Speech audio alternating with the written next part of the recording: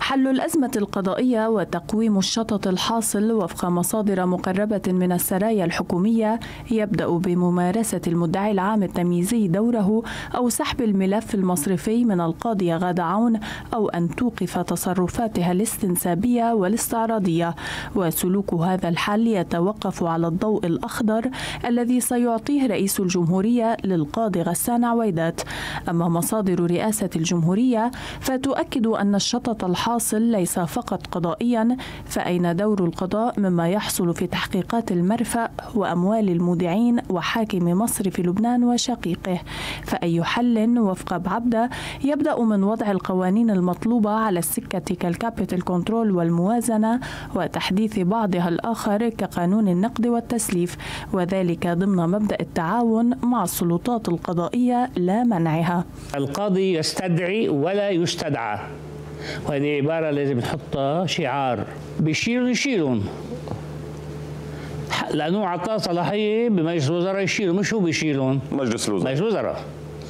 يعني في فريق آخر بمجلس الوزراء هو رئيس الجمهورية. مش معناتها عينته صار لك فضل عليه تستدعيه اللي بدك مطرح ما بدك كيف ما بدك. هلأ الملفات الموجودة عند الرئيس غادة عون إيه بيقدر يفض عن تمييز؟ إذا بده انتبه.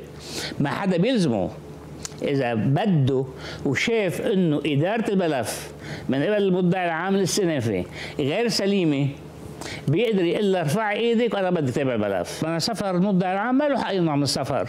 بس ما طلعت منها سفر. ما ما لها حق. هيدي غلطت فيها مثلا. ما لها حق. كل المسألة الاجتماع محور كله على أنه السلطة القضائية هي اللي بتقوم بدورها وعليها تاخذ الإجراءات يلي بتشوفها لما الماده بالدستور اللبناني بيقول إنه تعاون السلطات وتكاملهما بيكون عم يحكي عن تعاون. نحن مش قاعدين بجزر كل واحد معه جزيرة. كلمة استدعاء كمان بغير مطرحها. بس ما في يعني غير لا كلمة. دولة الرئيس مئاتي ولا مجلس الوزراء يسمح لحاله باستدعاء الكلمة مشاركة للتشاور ليست استدعاء لأنه استدعاء كانوا عاملين جريمة لما ظهر.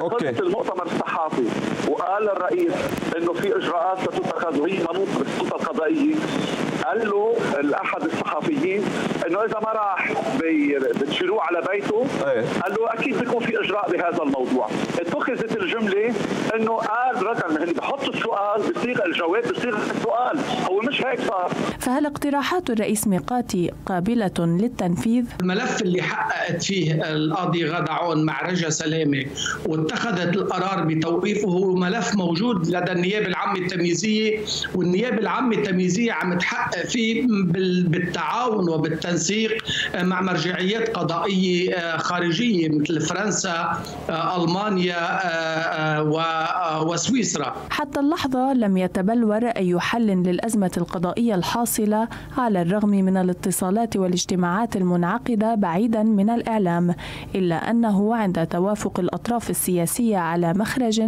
أو حل مبني على المقايضة فستسقط كل الأصوات التي تنادي باستقلالية القضاء ويصبح مباحا أن تحاسب سلطة سلطة أخرى.